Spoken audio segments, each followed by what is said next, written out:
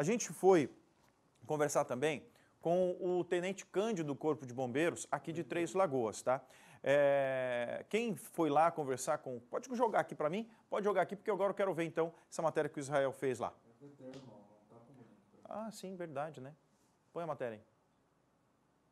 Olá, Rudy, muito bom dia. Começamos o mês de agosto e este mês aí é o mês mais crítico na questões da estiagem de chuva, tempo seco, o que favorece aí os incêndios e as queimadas.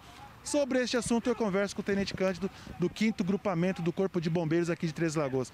Tenente Cândido, o Corpo de Bombeiros do Estado de Mato Grosso do Sul está em alerta vermelho? Sim, a gente está em alerta, né? A gente começou uma preparação lá no final de abril, né? A fase de preparação para a temporada dos incêndios florestais e a gente agora está no auge aí da, da, da temporada dos incêndios florestais. Quais são os, os alertas que, o, que o Bombeiros emite para a população evitar incêndios em terrenos, em queimadas, em pastagens? A gente tem sim, a gente fala para a população que a questão de ser um crime ambiental, né, atear fogo em folhas, em pastagens, em terrenos, né, a gente precisa da conscientização, porque tem um decreto federal que proíbe a questão de qualquer queima, de qualquer queima controlada, tem que ter autorização para fazer essas queimas e a gente sabe que não tendo autorização a pessoa está correndo em crime.